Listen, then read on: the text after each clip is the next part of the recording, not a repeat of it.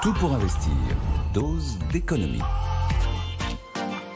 Notre petite dose, cher Nicolas. On parle des 10 millions qui ont été versés au Resto du Cœur par la famille Arnaud euh, en urgence pour aider euh, cette association à sortir de son marasme. Est-ce qu'on va réussir à sauver les Restos du Cœur? La réponse est oui. Il y a 35 millions d'euros de trous budgétaires pour 2023. Bon, le gouvernement a promis 15 millions d'euros, dont 10 millions étaient déjà connus. 5 millions vraiment nouveaux. Puis on voit que le mécénat et la philanthropie, en l'espace de 48 heures, commencent à s'organiser. Mm. La famille Arnaud va apporter 10 millions d'euros. C'est donc la famille propriétaire d'LVMH. Le Crédit Mutuel, ce matin, a annoncé qu'il mettait 5 millions d'euros. On a un mouvement unanime de l'ensemble de la grande distribution pour apporter un soutien. Alors un soutien matériel, puis il y a tous les dons dont on ne parlera pas, parce que ce sont des dons un peu moins spectaculaires, venant de gens beaucoup plus anonymes. Bon, vous aurez des voix pour considérer que c'est pas assez, que c'est de la com, que c'est pour aller cueillir une carotte fiscale. Il y a partout, il y a des indignés, partout, il y a des grincheux. Félicitons-nous d'avoir quand même des grandes fortunes qui, dans des moments très particuliers, sont capables de mobiliser des, montants importants. On l'avait vu d'ailleurs au moment de l'incendie de Notre-Dame. D'ailleurs, il n'y a pas que les grandes fortunes. On peut rappeler les chiffres globaux. Les apprentis d'Auteuil nous indiquent qu'on a un Français sur deux qui donne tous les ans de l'argent à différentes causes. Alors, les montants ont un peu baissé. C'est ce que relève l'Observatoire des générosités, puisqu'il y a eu l'inflation. Ça a fait baisser mm, mm. les montants des donations. Et puis, d'une certaine manière, bah, la guerre en Ukraine a aussi attiré des donations et ça a fait une forme de concurrence aux différentes causes nationales qui peuvent être soutenues habituellement. En attendant, euh, on parle de budget, on parle d'équilibre dans cette émission. 35 millions de déficit, c'est que quand même, euh, c'est pas très bien géré les restos du cœur.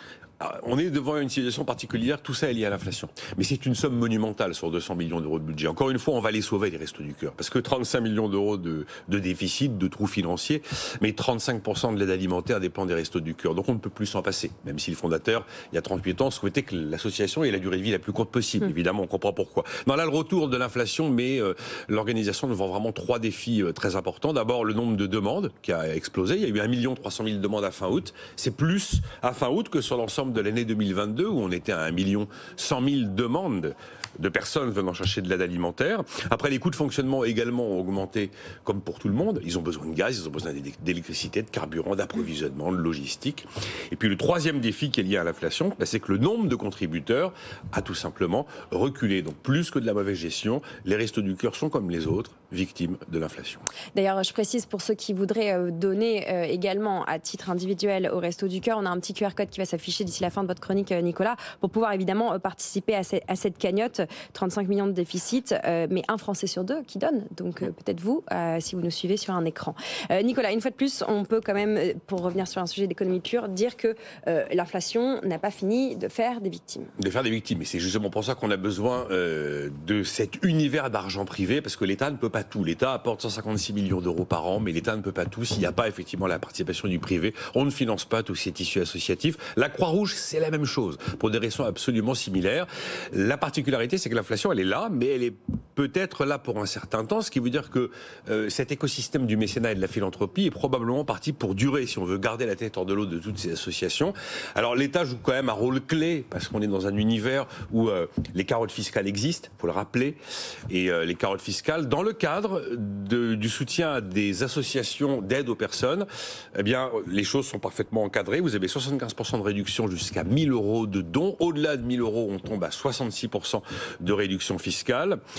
Et euh, tout ça étant évidemment totalement plafonné jusqu'à 20% maximum du revenu imposable. D'ailleurs, c'est pour éviter euh, les polémiques des grincheux euh, que la famille Arnaud a bien indiqué que les 10 millions d'euros qu'elle dépose dès aujourd'hui au Resto du Cœur, c'est une somme nette, c'est-à-dire qu'ils apportent ces 10 millions d'euros, mais sans aucune contrepartie et sans aucune recherche de défiscalisation.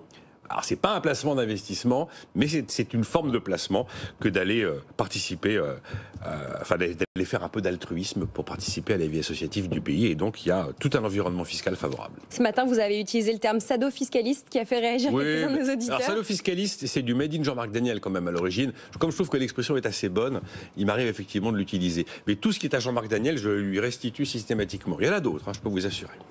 Merci beaucoup Nicolas Dose. C'est tous les jours une dose d'économie, c'est à cette heure-ci.